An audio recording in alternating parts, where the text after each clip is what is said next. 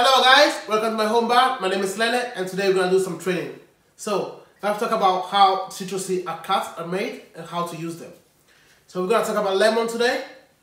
Okay, so now we're gonna talk about lemon, how to cut, how to peel, and how to use for a garnish. So, you got two lemons over here. You can see this one, nice, smooth, beautiful, easy to use. I can see this one. This one is hard skin, really, really trill. So let's make a garnish with them. The trill one, gonna cut it. The best one for garnishes like gin and tonic or highball drinks. So this way. Okay, have it in two. And then you have it in two again. So from half lemon, gonna make four pieces. For one lemon, gonna make eight pieces. So here we go, if you've seen. I'm gonna cut it this way.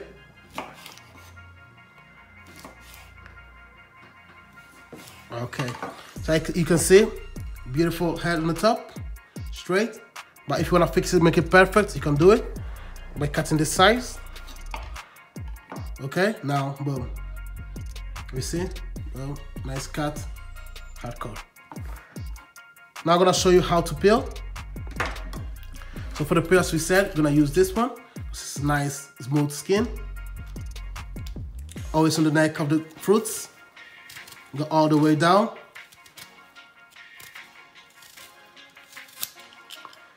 Boom, got nice and beautiful lemon peel on the table. To cut it this way. Okay, from here, just go this way. Cut it on the side. A nice beautiful lemon peel for a nice canora, nice coupette. I'm gonna show you another technique that you can use. I prefer this one, but you can do a lot more with the peels. So I'm gonna show you. The difference between this lemon and the fresh one that I show you, this one is an older lemon, so you can see it's not fresh as that one. It's a little bit yellow, dark yellow. This one you can see it's young lemon peel alive. okay. So to cut this lemon peel, this way. Okay. You can do it a little bit large if you want it. To the side. Just wrap it, turn it around this way. Here we go. This is a beautiful garnish for a drink. So go one and two. And you got some peels over here. Okay guys, so after the lemon, now we're gonna do something with the lime. So it's gonna be the same concept. Three lime and normal fine lime. So I'm gonna show you how to cut it and how to peel it. Okay guys, so now we're gonna talk about the lime, how to cut it.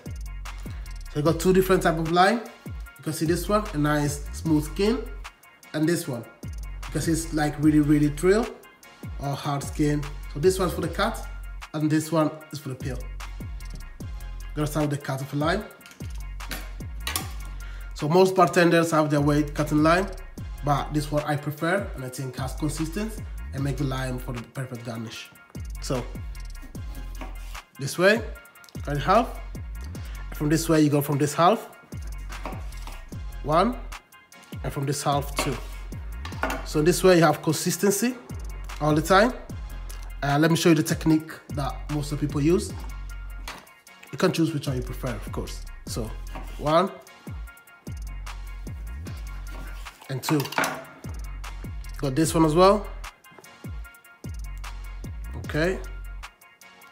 I prefer this one because it leaves a little bit of the white bit and seems like really perfect as you can see. And in this way you lose it a little bit. It always depends on the lime as well, so. Okay, so I'm gonna show you how to peel. I'm gonna use this lime. A peeler, you go to the top over here on the neck and you go down into all around it because with lime it's really difficult to peel it. So as you can see, you can go all around. Okay, so this is a lime peel. And there's two different ways to do a garnish with a lime. You can do it either this way.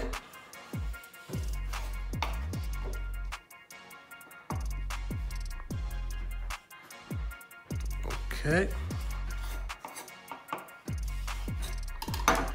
So this is how I, lo I love my garnishes. Okay. Okay, do it in another way. I'm gonna show you right now. You have the line still from the neck, go all the way down. Okay. And from here, I'm gonna show you a different way to cut the line. So you got it this way. Okay.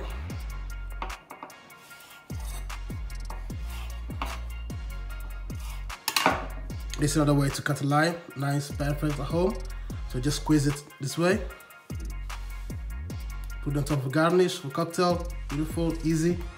This one I prefer is for like a Nick and Nora glass or coupette. You're like sitting in the bottom of the head, heading out. So these are two different techniques to do the line. Cut this way or classic. So these are three basic style. So if you want to learn how to do some more garnishes, write down the comment. I'm gonna show you some more. Thank you. Bye.